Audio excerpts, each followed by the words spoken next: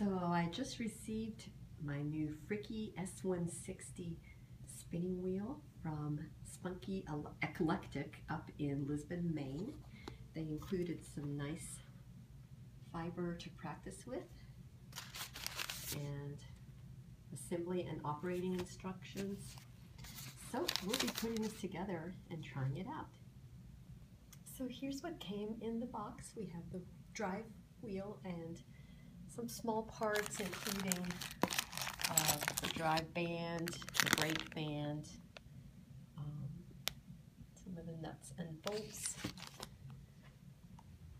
and then the base and the support, and then four bobbins,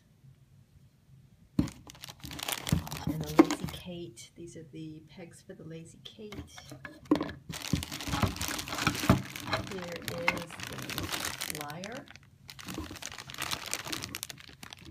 And uh, there is the Lazy Kate, into which I put the little pegs.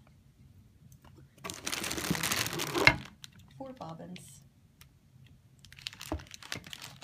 There is a nice um, plate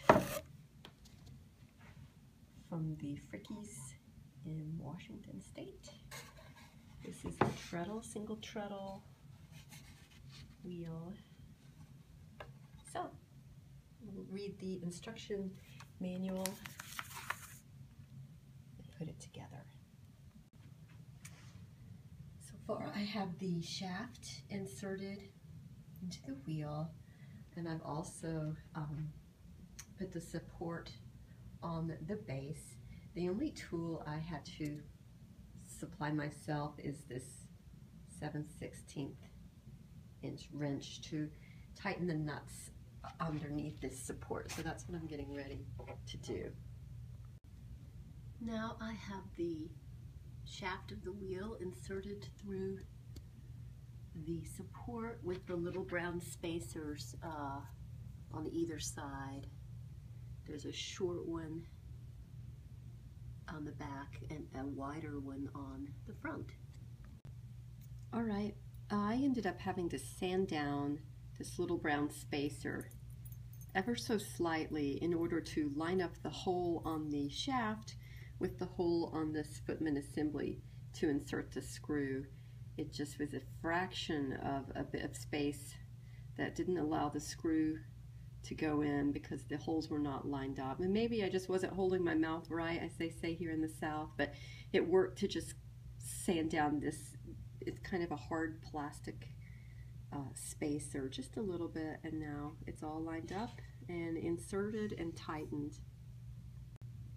Okay, I connected the footman to the treadle and then put in the flyer assembly from the back added another little collar on the front, put the bobbin on, and then the flyer by tightening uh,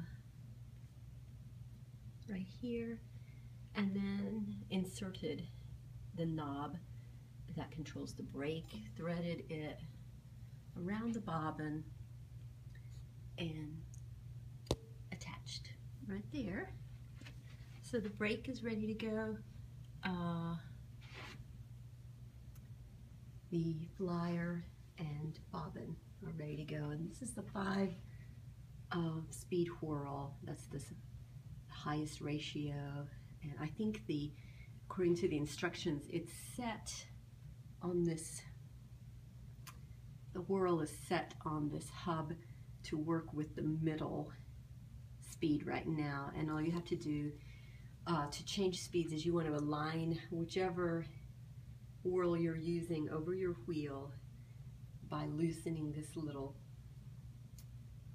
um, screw and moving this whirl accordingly.